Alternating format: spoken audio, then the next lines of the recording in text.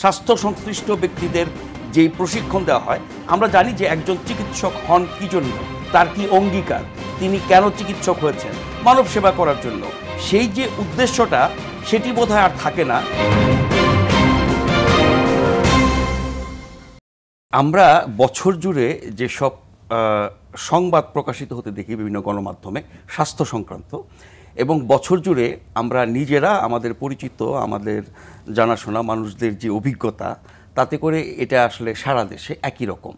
এই যে শুরুতে আপনি কিছু তথ্য দিচ্ছিলেন যে এখন বাংলা স্বাস্থ্য সেবা বা চিকিৎসা, এটা তো অন্যতম মৌলিক অধিকার। আপনি সুস্থ থাকলে, বেঁচে থাকলে তারপর আপনার অন্যান্য চাহিদার প্রশ্ন আসবে। ফলে এই চিকিৎসা ব্যবস্থা যেটি সরকারি খাতেও আছে, বেসরকারি খাতেও আছে, একেবারে প্রত্যন্ত অঞ্চলে স্বাস্থ্যসেবা থেকে শুরু করে বিশেষায়িত হাসপাতাল পর্যন্ত সাধারণ হাসপাতাল তো আছেই, তার মধ্যে সরকারি আছে, বেসরকারি আছে। মানে যত রকমের চিকিৎসা ব্যবস্থা বাংলাদেশে আছে সতেরো কোটি জনগোষ্ঠীর জন্য তার অনেক কিছুই বেড়েছে, আপনি বলছিলেন। হাসপাতাল বেড়েছে, ভবন বেড়েছে, ডাক্তার বেড়েছে, নার্স বেড়েছে, কর্মচারী বেড়েছে, টেকনোলজি বেড়েছে আমাদের বিশ্বমানের অনেক প্রযুক্তি আমাদের চিকিৎসক এবং কারিগরি সুবিধা কিন্তু এখন বাংলাদেশে আছে। যেই কাজগুলো এখন বাংলাদেশে করা সম্ভব, সেগুলো একসময় কল্পনা করা যেত না। উন্নত দেশে যেতে হতো শুধু ভারত, থাইল্যান্ড, সিঙ্গাপুর না, ইউরোপে, আমেরিকায় হয়তো যেতে হতো।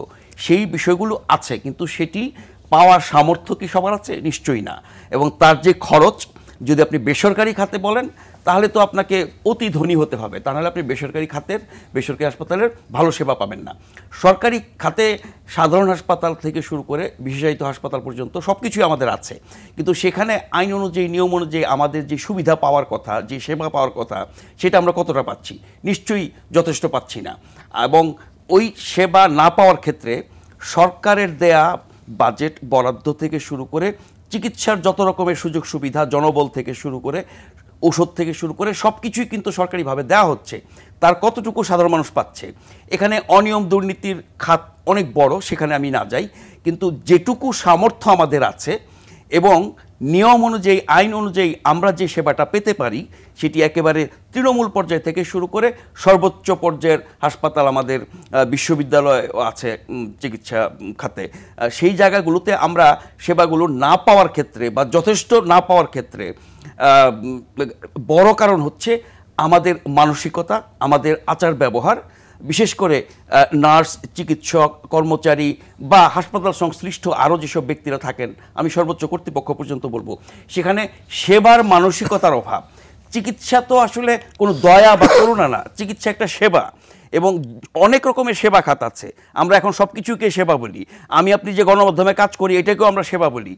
সরকার তার নিয়মিত কাজ যেগুলো করে সেগুলোকেও সেবা বলে। যারা রাজনীতি করেন সেটাকেও তারা সেবা বলছে।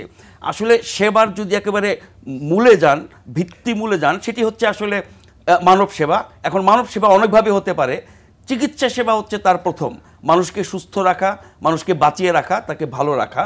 সেই ক্ষেত্রে আমাদের স্বাস্থ্য সংশ্লিষ্ট ব্যক্তিদের যেই প্রশিক্ষণ দেওয়া হয়, আমরা জানি যে একজন চিকিৎসক হন কি জন্য, তার কি অঙ্গীকার, তিনি কেন চিকিৎসক হয়েছেন, মানব সেবা করার জন্য। সেই যে উদ্দেশ্যটা, সেটি বোধহয় আর থাকে না। যখন তারা চিকিৎসক হয়ে যান, সফল হন, প্রতিষ্ঠিত হন, নামডাক হয়, তখন তারা জিনিসটাকে বাণিজ্যিকভাবে নিয়ে নেন।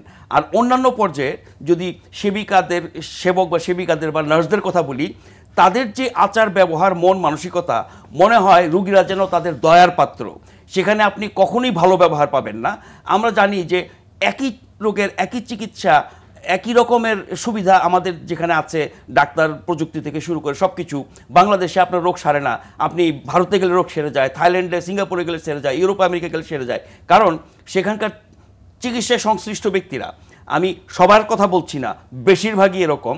সেটি চিকিৎসক বলেন, আপনার সেবক বা সেবিকা বলেন, এই ডাক্তার, নার্সদের যে অ্যাটিটিউড তাদের যে মনোভাব, তাদের যে ব্যবহার, তাদের যেই আচরণ, এটি একটি বড় প্রতিবন্ধকতা।